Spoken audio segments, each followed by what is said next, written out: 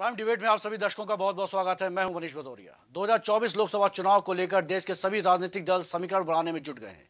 एक तरफ़ जहाँ देश की आज़ादी से पहले पार्टी कांग्रेस, भारत जोड़ो यात्रा के माध्यम से आम जनता को अपनी पार्टी की ओर आकर्षित करने की ज़ोर आजमाइश कर रही थी और आज खोए हुए जमीर को तलाशने में जुट गई है।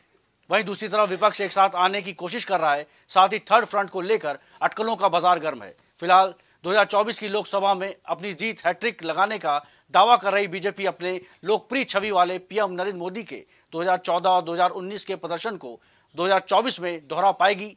ये देखने वाली बात होगी। साथ ही पीएम मोदी की गद्दी पर बीजेपी अपना कब्जा बना पाएगी। केंद्र सरकार की योजनाओं को जन जन तक पहुँचाने में क्या तीसरी बार सफल हो पाएगी?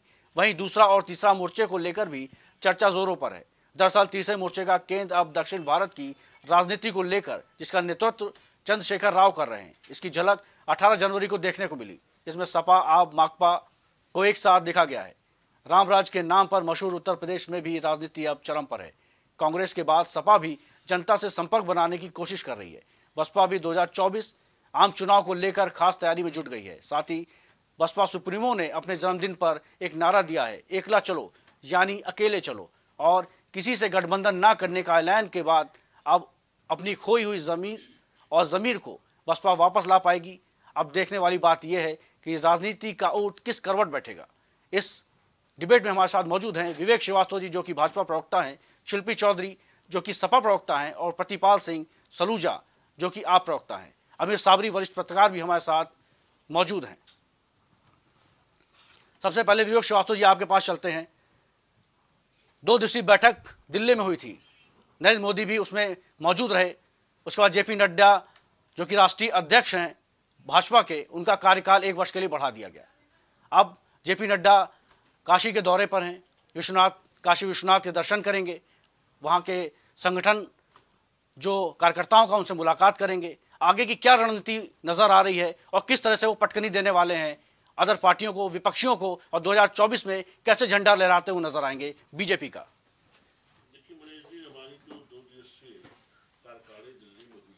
जी उसमें अपने उद्बोधन में हमारे नेता नरेंद्र मोदी जी ने पूरी पार्टी को 2024 के लिए कमर कस करने के लिए कहा। जी।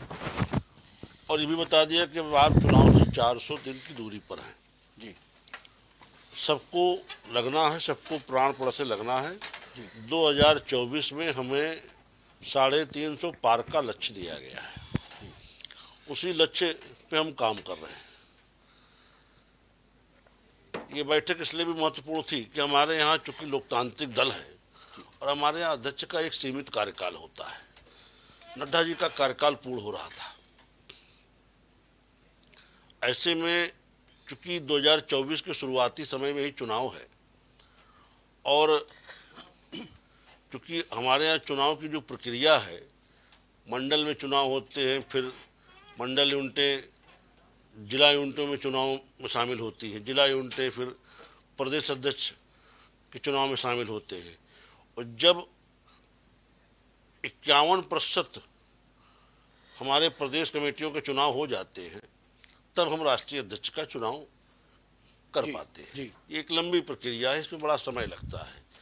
इस चूँकि पार्टी को 2024 में लोकसभा चुनाव के लिए भी तैयार होना है और इस वर्ष लगातार चुनाव हैं।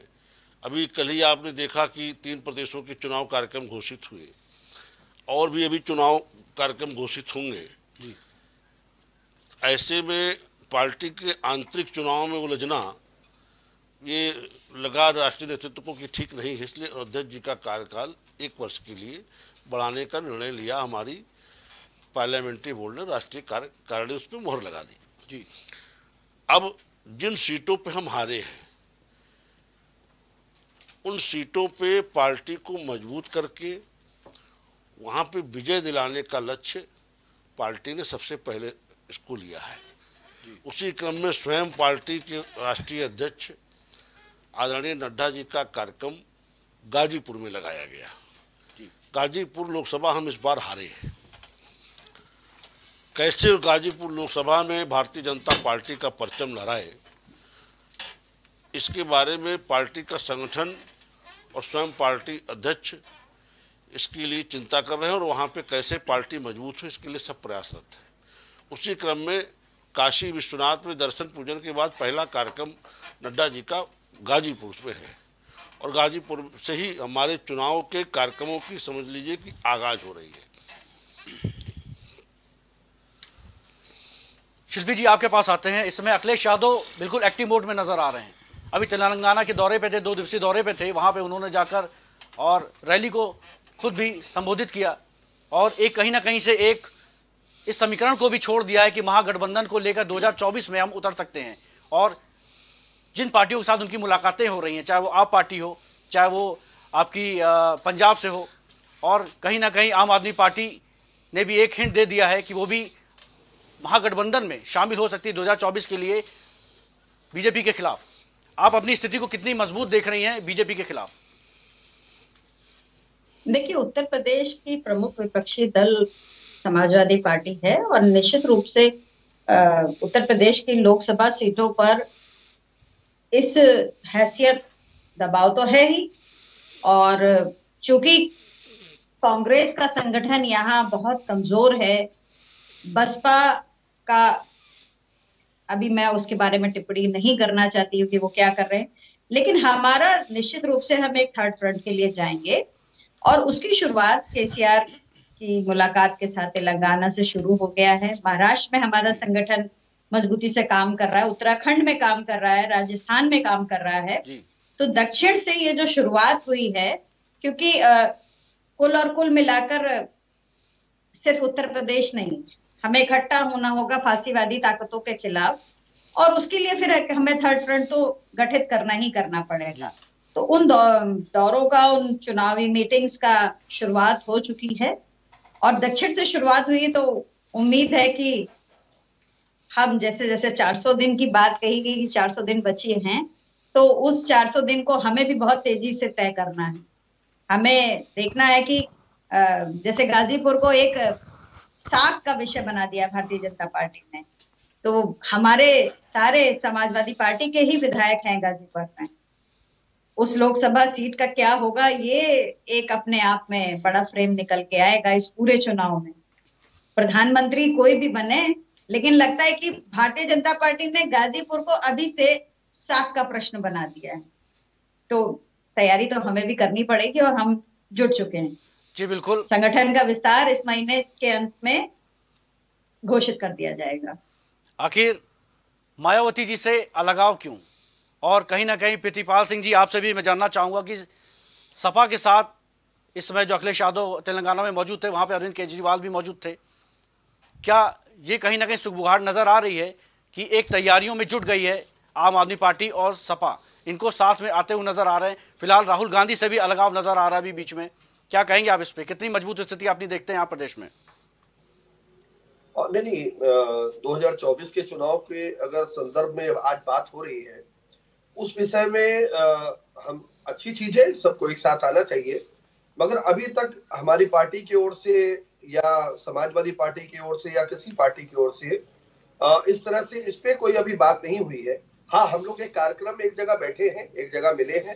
और अखिलेश यादव जी से माननीय हमारे अरविंद केजरीवाल जी संजय सिंह जी मनीष जी कई बार आ, उनके साथ मुलाकात हो चुकी है। आ, वो उसको राजनीतिक मायना देना अभी के लिए ठीक नहीं रहेगा। हाँ 2024 को लेकर सभी को एक साथ आकर एक वो ताकत जिसने देश की आ, दशा और दिशा एकदम दुर्दशा ही बिगाड़ के रखी हुई है उसको गद्दी से उतारने के लिए और देश को फिर से सोने की चिड़िया बनाने के लिए हम लोग को एक साथ आना चाहिए। इसके ऊपर काम हो तो अच्छी चीज़ है। प्रतिपाल सिंह बीजेपी को आप कितनी चुनौती मान रहे हैं अपने लिए? नहीं भारतीय जनता पार्टी को तो हम लोगों ने दिल्ली में तीन नहीं चार बार हरा दिया। 2013 हराया 15 हराया 20 हराया फिर अभी वाला चुनाव देख लीजिए अभी एमसीडी चुनाव हरा दिया इनको।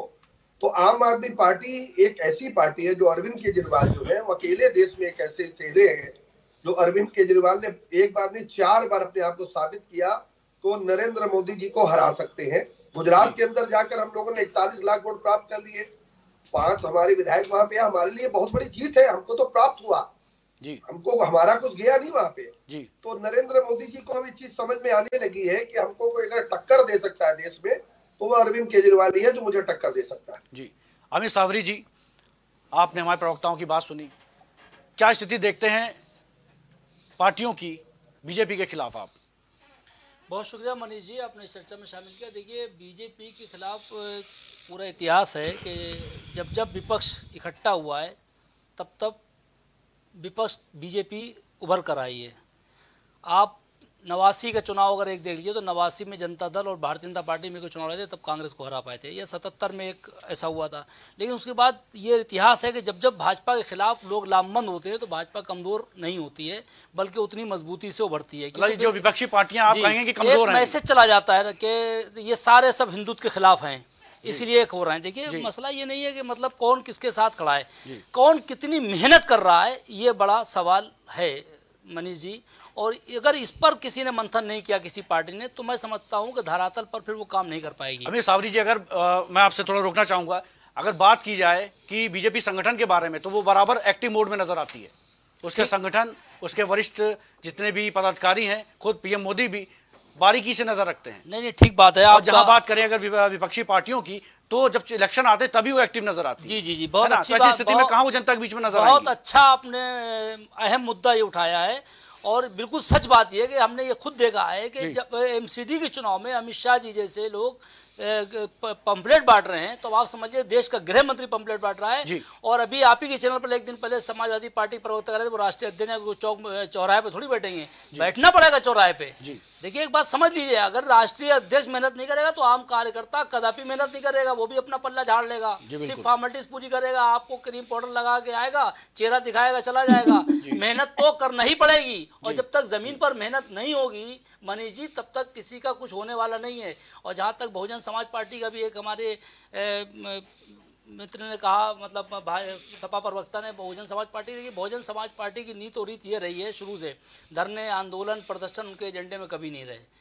और लेकिन चुनाव में जब अभी इस टाइम मौजूदा वक्त की बात यह है कि 2022 में आम आदमी को ये कह रहा था बहुजन समाज पार्टी बिल्कुल खत्म हो गई लेकिन बारह पॉइंट अट्ठासी परसेंट वोट उसका आज भी है।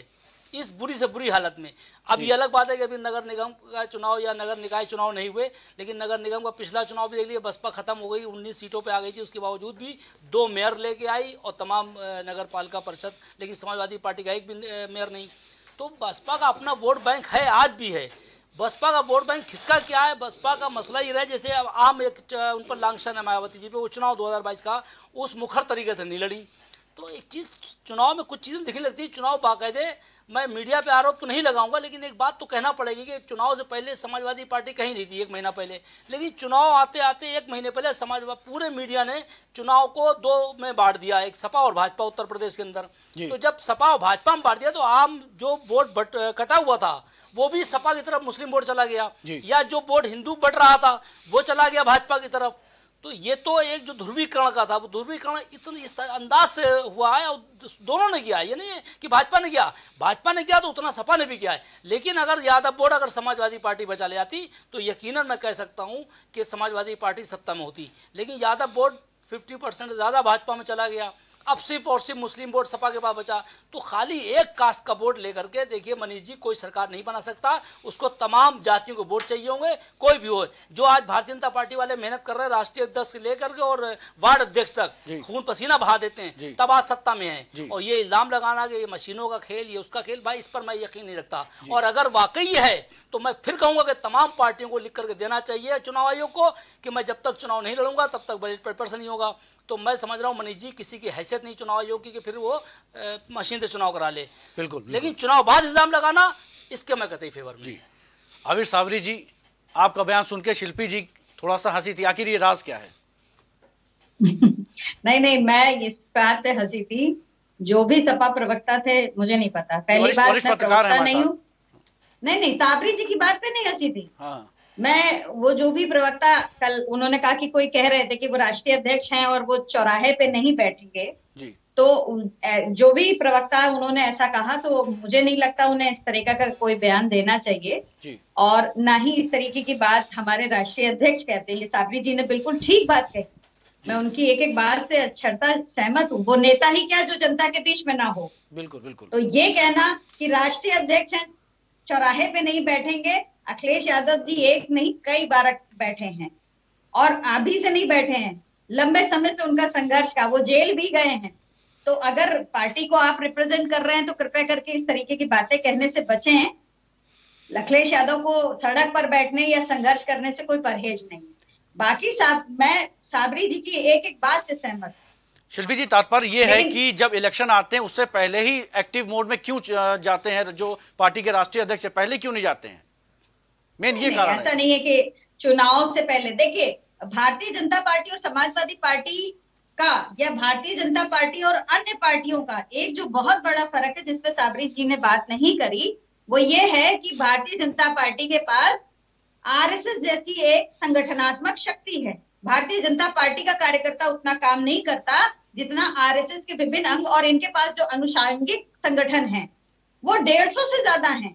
ये हर क्षेत्र में काम करते हैं ये तीन सौ पैंसठ दिन काम करते हैं और ये काम करके पूरा वोट कन्वर्ट करते हैं भारतीय जनता पार्टी के लिए। तो उसकी तुलना तो आप किसी और से कर ही नहीं सकते। बाकी पार्टियाँ पॉलिटिकल करती हैं काम ये काम तो शोषण तरीके से कर रहे हैं। ये किसानों के साथ जुड़े हैं ये महिलाओं के साथ जुड़े हैं। अभी ये अटल बिहारी जल योजना करके ये अब जल का एक वो चला रहे हैं। तो इनका ये तरीका है जनता के बीच में जाने का। जो कनेक्टिविटी है तो वो कनेक्टिविटी ये कलेक्टिविटी कलेक्टिवली आती है वोट के रूप में निकलकर और ये सब जानते हैं। कौन ऐसा ये नहीं है कि मैं कोई नई अनोखी बात कर रही हूँ। मीडिया भी ये जानता है पत्रकार लोग भी ये बात जानते हैं कि भारतीय जनता पार्टी की असली शक्ति तो आरएसएस और उसके संगठन है। जी। उसके संगठन का संगठन जो पार्टी खड़ा कर लेगी वो पार्टी इनको बिल्कुल चुनौती देने के बराबर में आ जाएगी। अन्यथा उसको इकट्ठा खड़ा होना ही पड़ेगा। जिसका जवाब आप ही दीजिए। जहाँ तक शिल्पी जी समझ पाई है वहाँ तक इन्होंने बताया। जी। कि भारतीय जनता पार्टी एक राजनीतिक दल है सही बात है। राष्ट्रीय स्वयं सेवक संघ हमारा मातृ संगठन है। हम विचारधारा के लिए अपने मातृ संगठन की ओर देखते हैं। और हमारा संघ का जो रिश्ता है सबको मालूम है। उसमें कोई कहने वाली बात नहीं है। जी। ये भी सही बात है कि हम तीन सौ पैंसठ दिन चौबीस घंटे जनता के बीच रहते हैं और जनता के बीच काम करते हैं। संपर्क संवाद हमारा अन्य राजनीतिक दलों से बेहतर है अपने लोगों के बीच। ये भी सत्य सारी बात शिल्पी जी ने खुद ही कहा है। और देखिए जनता के बीच काम करना उनके मुद्दे पे काम करना उनसे जुड़ना ये हमारे लिए प्लस होता है। जी। अन्य दल राजनीतिक जो भी हैं वो चुनाव के दौरान ही एक्टिव होते हैं। हम जनता के सारे कार्यों में सुख दुख में सभी विषयों में शामिल रहते हैं। और उनके बीच हम काम करते हैं तो हमें उसका लाभ मिलता है ये स्वाभाविक सी बात है। प्रतिपाल जी आप क्या कहेंगे? आप पार्टी को लेकर प्रदेश में उसकी क्या स्थिति इस समय आपको नज़र आ रही है और किस तरह से वो बीजेपी का सामना करने वाले हैं और आपकी रणनीति अभी क्या दिख रही है जो कि अभी कहीं भी एक्टिव मोड पे आप प्रदेश में नज़र नहीं आ रही है? आ, नहीं नहीं बिल्कुल हम लोग लगातार जो भी जनहित के जुड़े हुए मुद्दे हैं उन पर लगातार समय समय पर हम अपनी बात बड़ी मजबूती से ज़मीन पर उतर के रखते हैं। अभी उत्तर प्रदेश में 25 एक 2023 को लखनऊ जो राजधानी उत्तर प्रदेश की है इको गार्डन में बहुत बड़ा प्रदर्शन हम लोग करने जा रहे हैं। आपको याद होगा जब 2022 का चुनाव था, तब देश के गृह मंत्री चुनाव मोड में आकर देश के प्रधानमंत्री जी नरेंद्र मोदी जी, योगी आदित्यनाथ जी, मुख्यमंत्री जो चेहरे थे भारतीय जनता पार्टी के, उन्होंने उत्तर प्रदेश की जनता को कहा कि अगर हमारी सरकार आप दोबारा बना लेते हो तो हम किसानों का अगले पाँच साल तक बिजली का बिल पूरी तरह से माफ़ कर देंगे और जो बिजली का भाव है उसको आधा कर देंगे। मगर अभी जो भारतीय जनता पार्टी के योगी आदित्यनाथ जी की जो सरकार है उन्होंने सिफारिश भेजी है कि कम से कम 19 प्रतिशत से लेकर 27 प्रतिशत तक उत्तर प्रदेश के बिजली के भाव बढ़ने चाहिए। जी। अब उस पर जब ये जानकारी प्राप्त की गई कि क्यों बढ़ने चाहिए तो उन्होंने कहा कि कोयला महँगा मिल रहा है। तो कोयले की जानकारी जब प्राप्त की सांसद संजय सिंह जी ने उन्होंने बताया कि जब हमारे जो धनबाद से कोल एरिया से जो कोयला आता है बिजली के लिए, वो तीन हज़ार रुपए प्रति टन से लेके पाँच हज़ार रुपए प्रति टन मिल जा रहा है हमारे देश के अंदर। तो उन्होंने कहा, नहीं कि विदेश से कोयला मंगाना पड़ रहा है। तो विदेश से कोयला कौन दे रहा है? अडानी की कंपनी। वो कोयला जो आ रहा है, वो बीस बीस हज़ार से लेके पच्चीस हज़ार रुपए प्रति टन के हिसाब से आ रहा है। आप बताइए, देश का कोयला जो तीन हज़ार से लेके पाँच हज़ार के बीच में मिल रहा है तो हम बीस हज़ार से लेकर पच्चीस हज़ार क्यों खरीद रहे हैं बाहर से? तो इस पे उनका जवाब ये आया कि सेंट्रल गवर्नमेंट ने कहा है कि छह प्रतिशत का कोयला कम से कम आपको विदेश से खरीदना पड़ेगा, क्योंकि हमारे कोयले के जो खदान है वो कोयला उत्पाद नहीं कर पा रहे जबकि संसद में, सांसद संजय सिंह जी द्वारा जब पूछा गया राज्यसभा में, कोयला मंत्री ने जवाब दिया था कि प्रति वर्ष, यानी प्रतिदिन निकलने वाला जो कोयला है, वो तीस प्रतिशत ज़्यादा उत्पाद हुआ है। हमारे देश से उसके बावजूद हम बाहर से कोयला क्यों मंगा रहे हैं? अब अभी हालिया दिनों में एक आपको पता होगा नोएडा में वहाँ के उपभोक्ताओं जो बिजली के वो एक लाख उनसठ हज़ार उपभोक्ता है नोएडा के अंदर। उनमें से कुछ लोगों ने देखा कि उनका बिजली का रेट ज़्यादा आ रहा उन्होंने नियामक आयोग में शिकायत कर दी। नियामक आयोग ने उसकी जाँच की। जाँच में पाया कि पिछले दो तीन महीने से तकरीबन 1100 करोड़ रुपए जो एक लाख उनसठ हज़ार उपभोक्ता नोएडा के उनसे ज़्यादा वसूला योगी आदित्यनाथ की सरकार ने। उसी नियामक आयोग ने सोचा कि चलो पूरे देश का, उत्तर प्रदेश का पता लगाते हैं। उत्तर प्रदेश की जब जाँच की तो पता चला पच्चीस हज़ार एक सौ तैतीस करोड़ रुपए योगी आदित्यनाथ की सरकार ने अधिक वसूल दिए, मीटर जो तेज चल रहे थे। अब इस तरह की हालात जहाँ पे चुनाव मोड में आज जब चुनाव का माहौल था, तब ये किसानों को बिजली मुफ़्त दे रहे थे। और लोगों को कह रहे थे कि हम आधा बिल कर देंगे आप मेरी सरकार बना दो। कटोरा आगे करके लोगों ने कहा चलो भैया वोट डालो कोई बात नहीं हमारे बिजली के रेट कम हो जाएँगे। किसानों ने सोचा भाई हमारी बिजली पाँच साल तक मुफ़्त हो जाएगी। मगर यहाँ पे तो उन्होंने उल्टा उन्नीस प्रतिशत से लेकर सताइस प्रतिशत बढ़ाने की बात कर दी। इसी के लड़ाई लड़ने के लिए हम लोग सांसद संजय सिंह जी के नेतृत्व में लखनऊ की इको गार्डन में 25 एक 2023 को बहुत बड़ा प्रदर्शन पूरे उत्तर प्रदेश के स्तर पे करने जा रहे हैं। तो समय समय पर आम आदमी पार्टी जनता से जुड़े हुए सरकारों की जो आवाज़ है, जो धोखा आदित्यनाथ जी ने अपने चुनाव में कहा था, अपने घोषणा पत्र में डाला था, वो नहीं पूरा कर रही है। उसको चेतावनी धरना के रूप में हम लोग करने जा रहे हैं और जो जो बात होती है, उसके लिए हम लोग लगातार ज़मीन पर उतरते हैं, लड़ते हैं, गिरफ़्तार होते हैं, जेल भेजे जाते हैं। अभी छोटे छोटे कार्यकर्ताओं के ऊपर मुकदमे लगे हुए हमारे सांसद संजय सिंह के ऊपर तेईस मुकदमे लगे हुए हैं। तो हम लोग इस सब चीज़ों से डरने वाले नहीं आम आदमी पार्टी लगातार अपने संगठन पे काम कर रही है और जनता की आवाज़ लगातार सड़कों को उतारने के लिए तत्पर रहती है। विवेक जी प्रतिपाल जी ने आप पे एक आरोप लगाया है। देखिए प्रीतपाल जी का जो वक्तव्य है वो तथ्यहीन है। बिजली कंपनियों ने प्रस्ताव दिया है और अभी तक उसको बिजली बोर्ड या सरकार के स्तर पर स्वीकार नहीं किया गया है। जी। अभी उस पर चर्चा भी नहीं हुई है। तो इसलिए जिस तरह का ये आरोप लगा रही बेबुनियाद आरोप है। सरकार ने घोषणा पत्र में अपने कहा था सही बात है कि किसानों को मुफ़्त बिजली देंगे और बिजली का मूल्य अदा करेंगे। लेकिन उसके लिए हमारे पास पूरा पाँच साल का वक्त हम अपने उस पूरे घोषणा पत्र को पाँच साल में इम्प्लीमेंट करेंगे। हमने तमाम अपनी घोषणाओं पे काम किया है। उससे बाद इन सारी भी घोषणाओं पे भी सरकार काम करेगी। हाँ आर्थिक स्थितियाँ सारी देखते हुए प्रदेश को सारे सारे घोषणाओं पे काम चुके हैं। कि पाँच साल पहले भी आपकी ही सरकार थी उत्तर प्रदेश में। बिल्कुल थी। इस बीते पाँच साल भी आपकी ही सरकार थी। बिल्कुल तो सरकार बदली नहीं है। बिल्कुल नहीं बदली। वही शासन वही कुशासन ये इस घोषणा पत्र में था प्रीतपाल जी आप इसको पढ़ के आइए। इस घोषणा किस किसान किसानों की बिजली का मूल्य आधा करने का लक्ष्य आपकी है। जी? तो अगले पाँच साल क्यों लगेगा इस इस नहीं हमने ये हमने ये जो घोषणा पत्र होता है जो घोषणा पत्र होता है प्रीतपाल जी वो डे डे वन डे का नहीं होता। घोषणा पत्र कोई भी पार्टी वन डे नहीं पूरा कर सकती। अरविंद केजरीवाल ने दिल्ली में बिजली मुक्त कर दी थी। जिस तरह से दी है वो सबको मालूम है। जिस तरह से दी है सबको मालूम है। जिस तरह जो जो दिल्ली का हाल है जो जिस जिस तरह से दी है। अगर महँगा खरीदोगे तो देखिए ये ये ये इस पॉलिसी इस पॉलिसी पे इस पॉलिसी पे प्रीतपाल जी हर हर बड़ी कंट्री अपना पेट्रोलियम उत्पाद अपना कोयला बचा के रखती है विदेशों से लेकर के काम करती है। जो भी समझदार देश है वो इसी तरह का काम करता है। अमेरिका भी रुक जाइए अमेरिका भी अपना अपना रुक जाइए अमेरिका भी अमेरिका भी अपना अरे भाई आप आप आप तो कोयला मंत्री ने आप सुनेंगे नहीं को कहा आपको सुनने की आदत नहीं आप लोग ज़्यादा कोयला अराजकतावादी हमारा हैं। देश उत्पाद कर रहा है। सबका सब तो से का सुन लीजिए सुन लीजिए जान लीजिए, बात को। अमेरिका भी अपना पेट्रोलियम रिज़र्व स्टॉक रखता है। इसी तरह जो भी ताकतवर देश है वो अपने अडानी की इतनी तारीफ़ आपकी बात समझ में नहीं आएगी। अडानी की कंपनी से आप खरीद रहे हो तो आपको एक- एक आरोप करना है आप बता समझ नहीं आएगी। इसका कोई तथ्यात्मक दस्तावेज़ हो तो आप प्रस्तुत करें उस पर जवाब करके डिबेट करा ले। विवेक जी, मैं उस पर भी आपको जवाब दे दिया जाएगा। अडानी अंबानी का नाम लेना बंद करिए। प्रेम हमने देश प्रेम बहुत देखा है। अडानी अंबानी का नाम लेना बंद करिए वो आज से उद्योगपति नहीं है। विवेक सिंह के भी बढ़ेंगे। विवेक श्रीवास्तव भी बढ़ेंगे श्रुति जी के भी बढ़ेंगे मेरे भी बढ़ेंगे।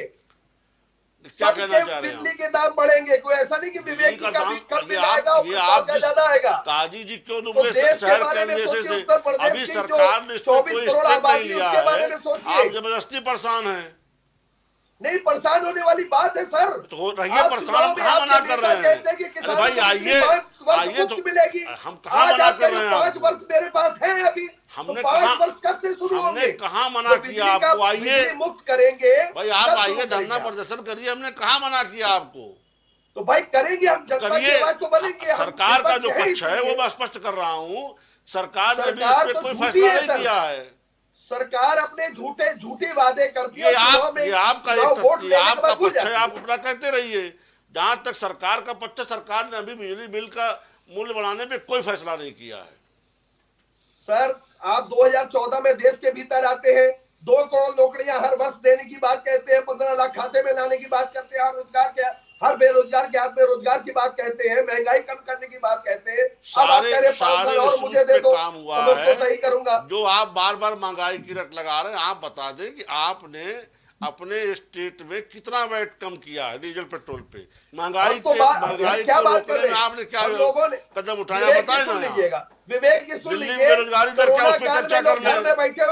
दिल्ली में बेरोजगारी दर क्या उस पर चर्चा कर ले। दिल्ली में डीजल पेट्रोल का मूल्य क्या उस पर चर्चा कर ले। किया था कोरोना काल में। जब आप बढ़ा रहे थे तो हम लोगों ने कम किया था दिल्ली में। दिल्ली अरविंद केजरीवाल ने आठ तो कई गवर्नमेंट है दिल्ली में आप ये बता दें बेरोजगारी दर क्या है? और ये बता दें डीजल पेट्रोल का मूल्य क्या है? पूरे देश के अंदर अगर आप बताएँ ना। यारा मत गाइए कहानियाँ मत बताइए। एक एक अंक- में बात करिए। दिल्ली में बेरोजगारी दर क्या है? कैपिटा इनकम दिल्ली में बेरोजगारी दर क्या है? बताइए। बेरोजगारी दर अरे पंद्रह लाख उत्तर प्रदेश से कम है या ज़्यादा बता दीजिए। आप उत्तर प्रदेश में सत्तर लाख नौकरियाँ आपने क्यों बताने 2017 शर्म आ रही है? आपने कितनी नौकरियाँ भाई। साढ़े चार लाख नौकरियाँ बाबा जी ने कहा शर्म था। क्यों आ रही है? विधानसभा के भीतर आकर। मैनिफेस्टो में सत्तर लाख नौकरियाँ देने की बात बताइए बताइए सत्तर लाख नौकरियाँ देने की बात बहुत आंकड़े आप बताइए ना नौकरियाँ साढ़े चार लाख का कहानी मत बताइए। अभी अभी आप अभी आप थोड़ी देर में स्कूल पहुँच जाएँगे मनुष्य सिसोदिया वाले ये शिल्पी जी बोलिए। क्या है? आप अपने शिल्पी जी कुछ कहना चाह रहे हैं? बताइए, नौकरियाँ नहीं दे पाती पेट्रोल का मूल्य बता दीजिए। ये कहानियाँ मत बताइए यहाँ। लारा लप्पा सुनने के लिए डिबेट नहीं चल रही है आपकी। जी शिल्पी जी बताइए। देखिए सुन लीजिए सुनिए प्रीतिपाल जी सुन लीजिए प्रीतिपाल जी सुन लीजिए। मुफ़्त बिजली देंगे देनी पड़ेगी। सुन इसके लिए हम लोग सड़कों पे उतर अरे, जा हैं। सुन लीजिए। उनको कुछ मौका दीजिए महिला उनका सम्मान करिए। जी शिल्पी सुन जी लीजिए हमें सुनिए बहुत बहुत धन्यवाद बहुत बहुत धन्यवाद। भारतीय जनता पार्टी के प्रवक्ता महोदय बहुत अनुशासित तरीके से बात कर रहे हैं और वो बार बार दिल्ली की याद कर रहे हैं। मुझे दिल्ली की याद थी नहीं, लेकिन उनके बार बार दिल्ली दिल्ली दिल्ली कहने से मुझे याद आ गया। दिल्ली पुलिस, जो कि केंद्र सरकार के अधीन है, आज उसके ऊपर एक बहुत बड़ा धब्बा लगा है, शायद उन्हें नहीं पता होगा। आज दिल्ली महिला आयोग की अध्यक्ष स्वाति मालीवाल को 15 मीटर घसीटा है नशे में धुत एक आदमी ने उनको ज़बरदस्ती अपनी कार में बैठाने की पूरी कोशिश करी। क्या वो आम आदमी पार्टी की नेता हैं? इसलिए उनके साथ ये दुर्व्यवहार हुआ। क्या केंद्र सरकार के बस में नहीं है दिल्ली पुलिस? क्या महिलाएँ इतनी ही सुरक्षित हैं? इसका जवाब मुझे दे दीजिएगा इसी डिबेट देखिए, शिल्पी जी, अगर ऐसी कोई घटना घटी, हालाँकि मेरे संज्ञान में नहीं, आप बता रहे, मैं आपको नहीं कहता कि आप झूठ कह रही होंगी। अगर ऐसी कोई घटना घटी तो उसकी भी जाँच होगी, उसमें भी जो लोग होंगे, उसके ऊपर कार्रवाई होगी। कार्रवाई करना दिल्ली पुलिस के हाथ में, हम कार्रवाई करेंगे, बक्सा कोई नहीं जाएगा। अभी आपने देखा कंझावाला कांड में जो पुलिस वाले उसमें दोषी पाए गए, हमने उनको भी सस्पेंड करने में देर नहीं की। सारे आरोपी पकड़े गए। कानून का काम है कानून का कायदे से पालन कराना। वो पुलिस ने कराया। फेल हुए दिल्ली में, सर। ये फेल पास आप बताओ ना आप आप तो बस बेरोजगारी की दर बता दो इसके आगे बात मत करना पहले। देखो देखो प्रिंसिपाल जी पहले आप दिल्ली की बेरोजगारी दर बता दो और दिन दहाड़े हुई है। दिल्ली की बेरोजगारी दर बता दो आप। पहले क्यों नहीं लगा? दिल्ली की बेरोजगारी दर पहले बताओ उसके बाद आंकड़े क्यों नहीं बताना लगा आप था आप दिल्ली की बेरोजगारी दर बताओ प्रिंसिपाल जी। पुलिस ने वहाँ पे दिल्ली की बेरोजगारी दर बताओ। इदारा लपा बताओ मतलब। का मुकदमा जी। लगाया आपके लिए तरह महिलाएँ आपके लिए महिलाएँ और उनकी सुरक्षा कोई मायने नहीं रखती इसका मतलब। किसके लिए? हमने कहा तो कार्रवाई भारतीय जनता पार्टी। बिल्कुल कार्रवाई कार्रवाई? अरे हम ये कह रहे हैं हाँ। कि अगर इतनी अच्छी आप, आप कह रहे हैं ना सब कुछ बहुत अच्छा है। दिल्ली महिला आयोग की अध्यक्ष को घसीट दिया गया पंद्रह मीटर तक। नशे में धुत एक आदमी ने और एक एम्स के सामने ये इतनी भयावह घटना है और दिन दहाड़े। दिन में दिन में हुआ ये एक बजे। ये घटना का जब तक जाँच होकर रिपोर्ट ना आ जाए इस पे आप कोई वक्तव्य नहीं दे सकते जाँच की बात उन्होंने सुरक्षा ली है कि नहीं ली है? उनके सुरक्षा कर्मी कहाँ थे? पुलिस क्या कर रही थी आपकी? केंद्र अगर सरकार उन्होंने सुरक्षा ली है आमिर जी निष्पक्ष होकर आप अपना अगर उन्होंने सुरक्षा ली है तो सुरक्षा कार्रवाई होगी।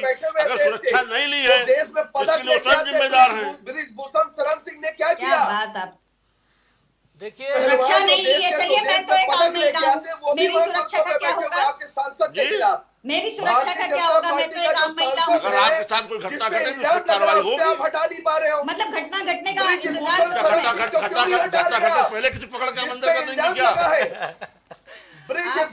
यही तो ये तो हँसी का विषय है ना। उसको दिनेश फोगाट बबीता फोगाट पूरी पहलवान आज दिल्ली में बैठी है जंतर मंतर सरकार से बात हो चुकी है उनका धंधा समाप्त हो चुका है। उन्होंने कहा कि सरकार से बात हैं अपडेट करके बैठा चाहिए। सिर्फ़ चुनावी तैयारियों की बात ना आप अपडेट होकर आइए। महत्वपूर्ण उनकी सरकार से वार्ता हो चुकी है, सरकार से बातचीत करके वो संतुष्ट है। महत्वपूर्ण ये बात धंधा समाप्त हो चुका है।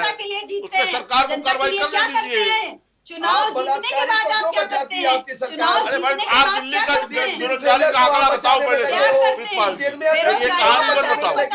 बहुत बेरोजगारी बेरोजगारी कर दो दिल्ली का आंकड़ा कौन बता सकते महिला सुरक्षा पे क्यों नहीं क्यों सर हमारी बताते? बता रहे दिल्ली का आंकड़ा महिलाओं की क्या स्थिति है? दिल्ली का बेरोजगारी दर इसमें बताने में आपको। शर्म क्यों आ रही है।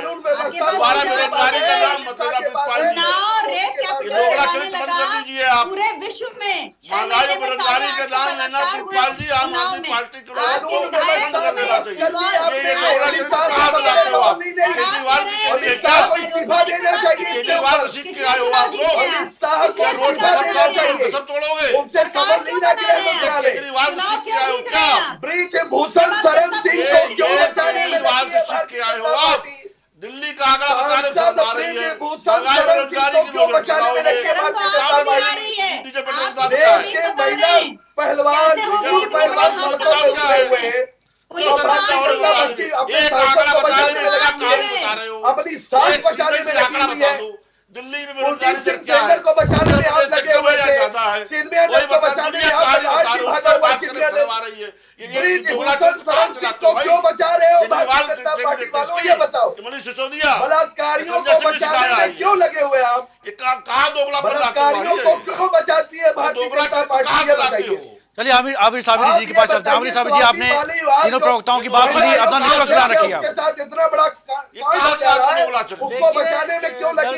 बहुत अफसोसनाक ही नहीं बड़ी शर्मनाक बात यह है कि महिला आयोग के अध्यक्ष है। ये बहुत सुन के अफसोस हुआ। जब महिला आयोग के अध्यक्ष का ये मामला है तो आम महिला कैसे सुरक्षित रह सकती हैं ये बड़ा सवाल है मनीष जी। जी। दूसरी बात ये भी बिल्कुल सत्य है कि चुनाव पूर्व योगी जी ने बहुत मंचों से भी कहा था अपने संकल्प पत्र भी उनके मौजूद है। कि मैं बिजली हाफ़ करूँगा। लेकिन आज मेरे ख्याल से नौ दस महीने हो गए चुनाव हुए लेकिन आज तक उस पर काम नहीं हुआ। और बल्कि तीन दिन से अखबारों में सब डेली समाचार पत्रों में ये खबरें आ रही हैं। मैं उन्नीस से सत्ताईस का तो मैंने नहीं पढ़ा लेकिन हाँ पंद्रह से बीस प्रतिशत बढ़ने का ज़रूर पड़ा है कि नए कनेक्शन पे भी इतना पैसा बढ़ रहा है। बहुत अफसोस की बात है कि आप कम करने के बजाय और बढ़ाने की खबरें अखबार अपनी तरफ़ से तो नहीं छाप सकते हैं। कोई भी पत्रकार कोई भी जर्नलिस्ट अपनी तरफ़ से एक लाइन नहीं लिखता जब तक कोई सरकारी आंकड़े नहीं होते या मीटिंग नहीं होती। प्रस्ताव है बिजली ठीक है प्रस्ताव नहीं, प्रस्ताव बिल्कुल सही बात है। विवेक जी आप बिल्कुल दुरुस्त कर रहे हैं मैं आपकी बात से कतई आपको निगलेक्ट नहीं कर रहा हूँ लेकिन बड़ा सवाल ये है कि आखिर ये कंपनियाँ ये सवाल उठा क्यों रही हैं? जब बात एक तरफ़ तो हाफ़ होने की हो रही थी और दूसरी तरफ़ नए कनेक्शन पे बढ़ने की हो रही तो आखिर ये बात निकल कर आई कहाँ से? बड़ा सवाल देखिए विवेक जी ये इस पे आपकी सरकार को मंथन करना पड़ेगा कि आपने कहा तो वादा किया था मैं हाफ़ करूँगा।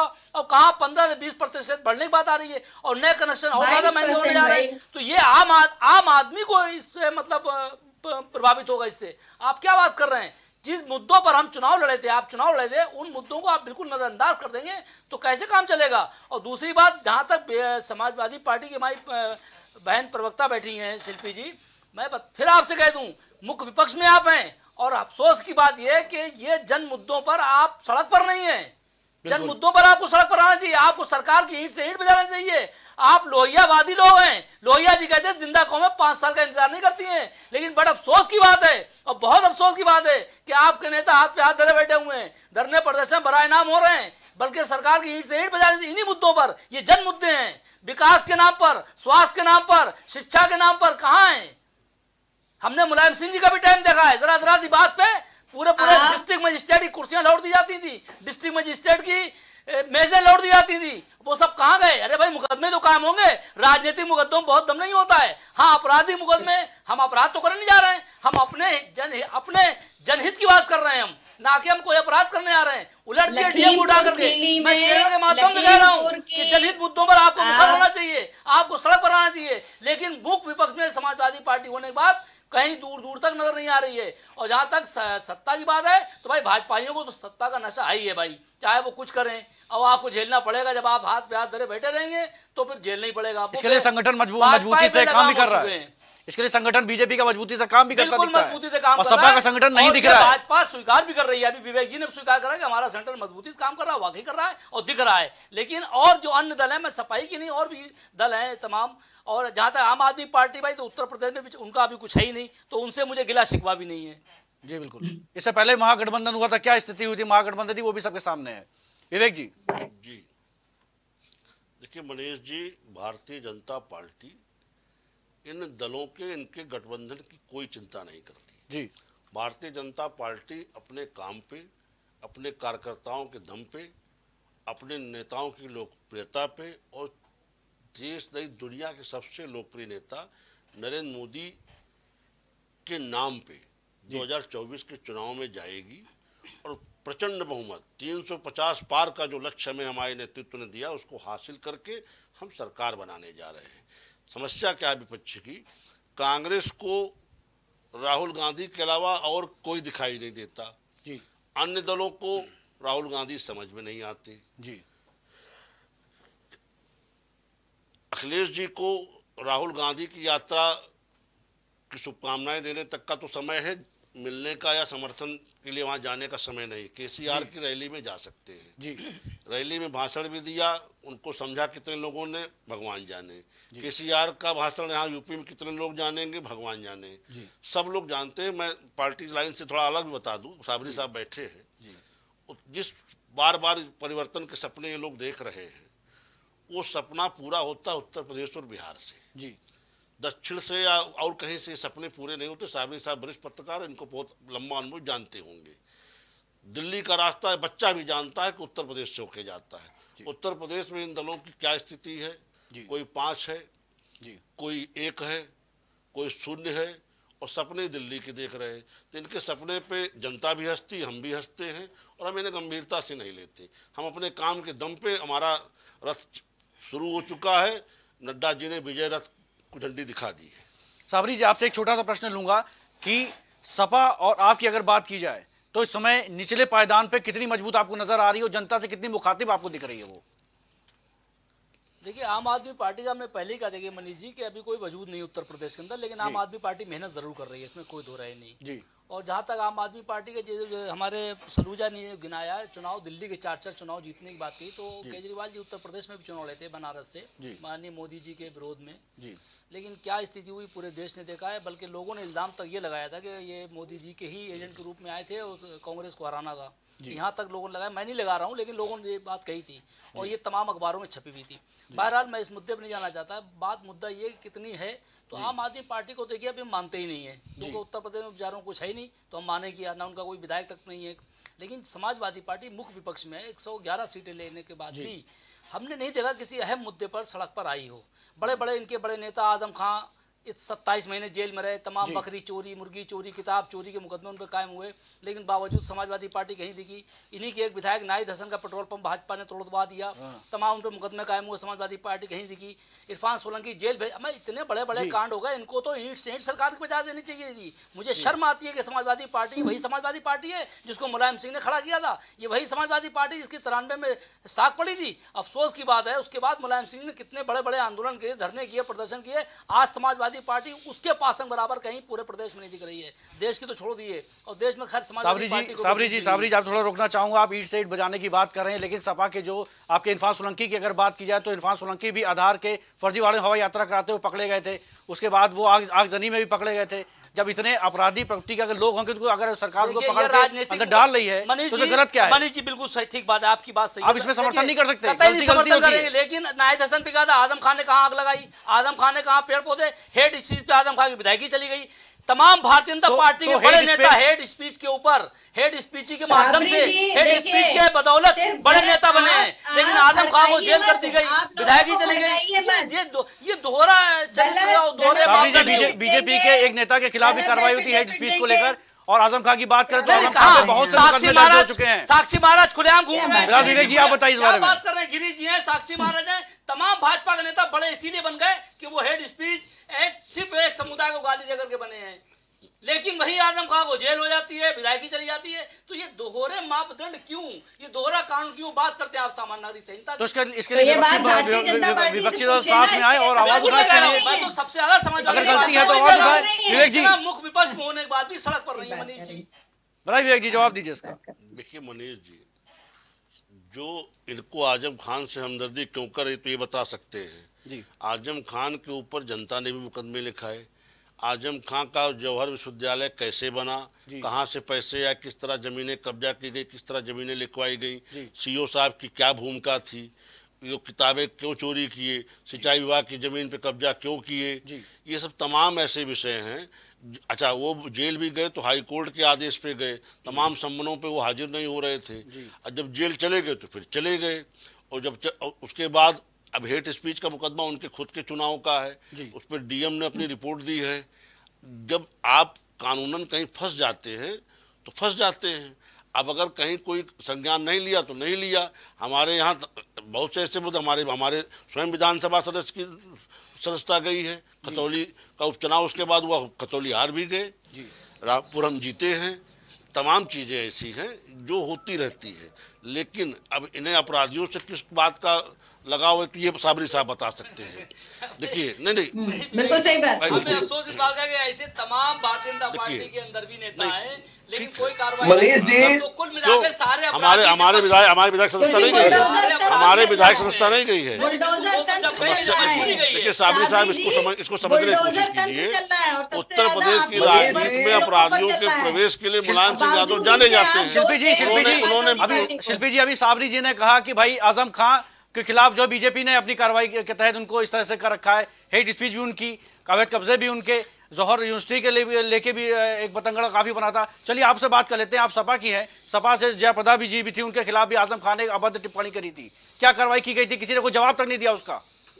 आपकी तरफ़ से किसी ने भी अधिकारी प्रवक्ता नहीं बोला? एक प्रवक्ता से इस बारे में सुनिए आप सुन भी लीजिए। एक प्रवक्ता से इस बारे में चर्चा की गई थी कि भाई सामने बैठे तो उनसे पूछा गया कि आज़म खान ने जयप्रदा के लेके इ- इ- इन शब्दों का प्रयोग किया है। तो उन्होंने सांप सूं किया था जवाब तक नहीं दिया। साहब जी बताइए क्या इस पे आप क्या कहेंगे कि गलत था कि नहीं था गलत ये? अगर गलत था कि नहीं था आप ये बताइए। हाँ तो आपने माना गलत है यानी सपा के आदम खान ने गलत किया। मंत्री है उनका नाम मेरे इस टाइम ठाकुर साहब है जहन में नहीं आ रहा है। उन्होंने मायावती जी पे गलत टिप्पणी करी थी उनके खिलाफ मुकदमा हुआ उनको जेल भेजा मुकदमा भी हाँ, हुआ मुकदमा भी हुआ पार्टी ने कार्रवाई भी की। मुकदमा भी हुआ पार्टी ने कार्रवाई भी की। समाजवादी पार्टी से कह रहा था कि इतने बड़े बड़े मुकदमे हुए तमाम नेताओं पे हुए तो समाजवादी पार्टी कितना सड़क पे आई? वही भारतीय जनता पार्टी में ऐसा नहीं है सब दूध के धुले हैं। तमाम अपराधी मुकदमे हैं लेकिन उसके बावजूद क्या है? डाक के तीन पात तो ये विपक्ष देखिए अगर बात की जाए अपराधी विपक्ष में है क्या? जी साहब मनीष जी एक बात समझिए फिर। हाँ। सारे अपराधी विपक्ष में तो नहीं हो सकते। अभी मैं ये नहीं कहता कि बिल्डोजर मशहूर मैं ये मैं ये नहीं कहता। सत्ता पक्ष में क्या नाजायज बिल्डिंगें नहीं बनाई हैं। लेकिन कोई बिल्डोजर नहीं चला सारे बिल्डोजर विपक्ष में चले। इसके इसके बाद आप साबरी तो साहब एक विषय ऐसा बताएँ जहाँ सत्ता पक्ष के किसी नेता ने ऐसा अवैध बिल्डिंग बनाई बताइए आप उसमें भी चलवा देंगे। आप बताइए ना। मुझसे बेहतर नहीं, आप नाम लीजिए। आप सत्ता में शामिल आप नाम लीजिए उसमें भी बुलडोजर चलेगा। दूसरी बात तमाम अपराधी तमाम मुखबिर थाने चलाए सुनिए आरोप प्रत्यारोप की जितनी भी चर्चा की जा रही है उसके बाद भी जो प्रत्यक्ष है वो प्रमाण है। बीजेपी आज अपने संगठन को मज़बूत कर रही है और जनता उसका सपोर्ट कर रही है। ये बात भी सत्य है दो हज़ार चौबीस को वो लेके कहीं ना कहीं आगे निकलती नज़र आ रही है। वहीं मैं जानना चाहता हूँ इसमें कि 2024 को लेके क्या रणनीति सपा की है आपकी है और अदर पार्टियों की है। राहुल गांधी की बात करें तो हाथ जोड़ो यात्रा, उसके बाद बराबर की जा रही है। उसके बाद अभियान फिर से हाथ से हाथ मिलाओ यात्रा शुरू होने वाली है। इसको लेकर गठबंधन की जो बात की जाए जो जो लोग लोकसभा चुनाव 2024 की लेकर बात की जा रही है, मैं बस यही जानना चाह रहा हूँ कि स्थिति क्या है इन पार्टियों की और कैसे वो टक्कर दे पाएँगे बीजेपी को। जी, बताइए। देखिए जो गठबंधन की बात चल रही है देखिए हमें तो नहीं लगता कि गठबंधन भाजपा से लड़ पाएगा। बहुत साफ़ सी बात यह कि जो गठबंधन की हमने तस्वीर देखी है कल की के सी आर के जो नेतृत्व में वहाँ रैली हुई है और उसमें जिन लोगों को देखा है वो मुझे सक्षम कहीं से भाजपा से लड़ने में जा रहा नहीं नज़र आते हैं। इसलिए कि वहाँ पर देखिए दो बड़ी पार्टियाँ एक उत्तर प्रदेश की बड़ी पार्टी देखिए भाजपा को लोग भले ना नकार रहे हों बसपा की भले ही मौजूदा दौर में एक सीट हो लेकिन बसपा का वोट बैंक कहीं चला गया या बसपा एकदम कमज़ोर हो गई है एकदम खत्म हो गई है देखिए मनीष जी इसको भी नकारा नहीं जा सकता। बहुजन समाज पार्टी की अपनी एक हैसियत थी है। और रहेगी ये बात फिर से एक्टिव नज़र आ रही बात कांग्रेस पार्टी को भी नजरअंदाज करके आप कोई गठबंधन बना लें और उसके बाद ये समझें मैं भाजपा को टक्कर दे दूँगा तो ये मोगरी लाल के सपनों जैसा ही लगता है मनीष जी। बहुत स्पष्ट सी बात है। कांग्रेस का अपना वजूद है और सब बसपा का अपना वजूद है। प्रतिपाल जी एक कमेंट आपसे भी। हाँ बिल्कुल बिल्कुल। अभी विवेक जी ने कहा कि हम को कोई टक्कर नहीं दे सकता। नरेंद्र मोदी के नेतृत्व में 2024 जीतेंगे। बिल्कुल जीते। अगर आप काम करके आ रहे हैं अपने मैनिफेस्टो को लेकर आप जनता के बीच में गए उस मैनिफेस्टो अरे भाई आप दिल्ली की बेरोजगारी दर बताइए ना। आप दिल्ली की बेरोजगारी दर बता दीजिए। अपने मैनिफेस्टो दिल्ली की बेरोजगारी दर बताइए। आप आप एक आपकी कहानी नहीं सुनना हमें आप दिल्ली की बेरोजगारी दर बता दीजिए। साढ़े चार लाख नौकरियाँ। आप ये ये ये चरित्र तो आपका नहीं चलेगा। दिल्ली की बेरोजगारी दर बताइए आप। अभी दिल्ली की बेरोजगारी दर बताइए। प्रीतपाल जी दिल्ली की बेरोजगारी दर बताइए आप। दिल्ली की बेरोजगारी दर बताइए। ये आपका दोगला चरित्र देश देख रहा है। आप मुद्दे पे बात करने से भाग रहे हैं। तिरंगा लेके निकले से मसाज पार्लर तक पहुँच गए। तिहाड़ में मसाज सेंटर चल रहा है सिकंदरगंज तो मसाज कराते दुनिया देखे जा रहे हैं। आम आदमी पार्टी रही मसाज पार्टी हो गई है। कहा से लाते लोग चलते भाई। मसाज पार्टी खोलोगे ये मसाज कराना कब से शुरू कर दिया। मसाज पार्लर कब से खोल लोगे। यही यही यही यही किया है आम आदमी पार्टी ने। तिरंगे से मसाज पार्लर तक की यात्रा ये झूठ का कहा तक चलेगा? बताओ ना भाई दिल्ली बेरोजगारी से बता दो। शिक्षा कर दिया दिल्ली की बेरोजगारी दर बताओ आप। दिल्ली की बेरोजगारी दर बताओ प्रिंसिपाल जी दिल्ली की बेरोजगारी दर बता दो आप। डिबेट कराने का कोई मतलब नहीं बेरोजगारी दर बताओ दुनिया कान में बताओ। आप मुद्दे पे जवाब दे सकते हो? महँगाई बेरोजगारी पे बात करोगे आंकड़े फंस जाओगे तो भाग सकते हो आप। आंकड़े जवाब दो ना। नरेंद्र मोदी छोड़ो बोलने दो। अरविंद केजरीवाल दो हज़ार छोड़ो ये अरविंद केजरीवाल का दोगलापन तो आपको मुबारक हो। बिल्कुल हराने ये आपका दोगलापन अरविंद केजरीवाल का दोगलापन आपको मुबारक। नरेंद्र मोदी जी ने झूठ बोला। ये हार के गए बनारस के तो बात करते हो कभी हारे नहीं बता दिया जुमला सपने वाली बात करते हो? जुमलेबाज पार्टी नहीं है। अभी उन्होंने बता दिया मुंगेरी लाल करते मुंगेरी तो लाल में जो वादे किए मुंगेरी लाल शांत हो जाइए। देश को आप मुंगेरी लाल शांत हो जाइए। देखना बंद कर दो भाई। रावण सा घमंड है भारतीय जनता पार्टी को कि हमको कोई हरा नहीं सकता। मगर श्री राम जी ने नाभि में तीर मारकर उस रावण को भी धराशायी किया था। ये तो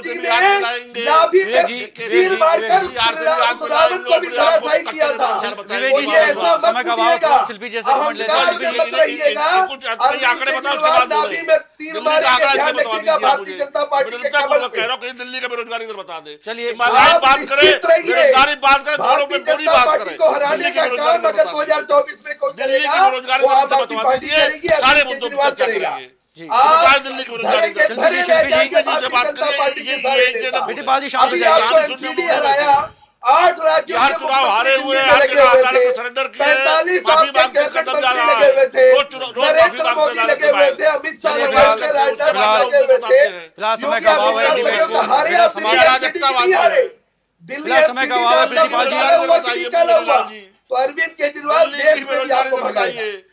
मसाज पार्लर का रेट बताइए। मसाज पार्लर का रेट बताइए क्या अरे और आपके एक एक जवाब मसाज पार्लर तक क्या है आपके पार्टी का वोट के बदले आप बात करेंगे भारतीय तो जनता पार्टी आम आदमी पार्टी आप भारतीय जनता पार्टी से बात करेंगे? का समय खत्म हो गया है। पार्टी का तो भाग रहे हो। प्रतिपाल जी मोदी को हराने का काम अगर कोई करेगा? केजरीवाल करेगा निश्चित रहिए क्या बात करोगे विवेक जी हम भी यही है करो ना बेरोजगारी बात कर बेरोजगारी दो हज़ार चौदह अरविंद केजरीवाल हराएगा भाई मोदी की बेरोजगारी सर अहंकार है। आपका उसको ध्वस्त करने का काम कोई करेगा तो केजरीवाल करेगा। चर्चा करो शांत हो। जाइए। रहे हो आज? अरविंद केजरीवाल का काम करेंगे। जी शांत हो जाइए विवेक जी शांत हो जाइए। समय का अभाव के साथ बैठो आओ। चर्चा हो जाए बेरोजगारी पे महँगाई पे। करो चर्चा। अरे करो ना चर्चा। विवेक जी विवेक जी विवेक जी विवेक जी फाइनल कमेंट लेते हैं। विवेक जी फाइनल कमेंट लेते हैं। प्रतिपाल जी शांत हो जाइए। प्रतिपाल जी शांत हो जाइए। प्रतिपाल जी शांत हो जाइए प्लीज़ शांत हो जाइए। शांत हो जाइए।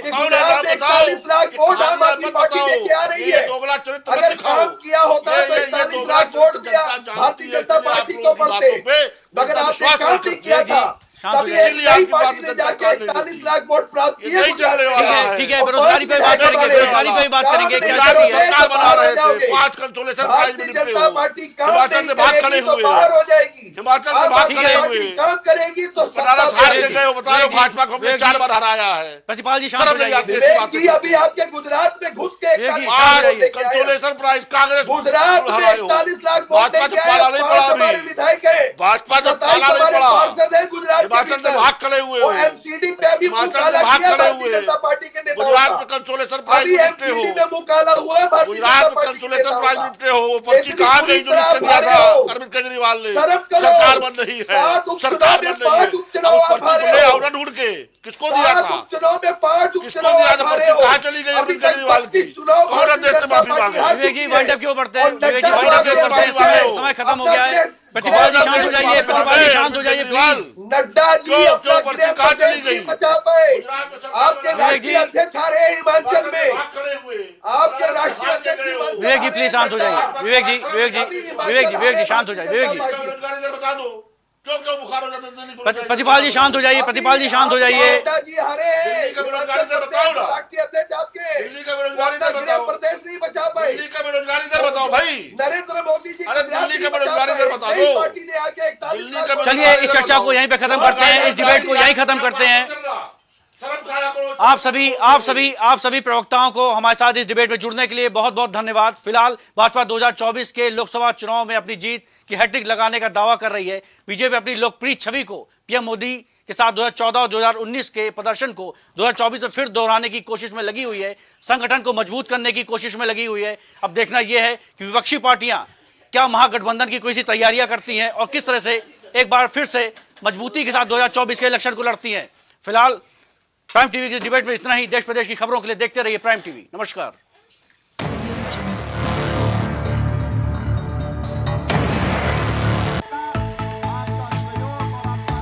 कुछ भाव पुष्प। आप देख रहे हैं प्राइम टीवी सच साहस सरोकार।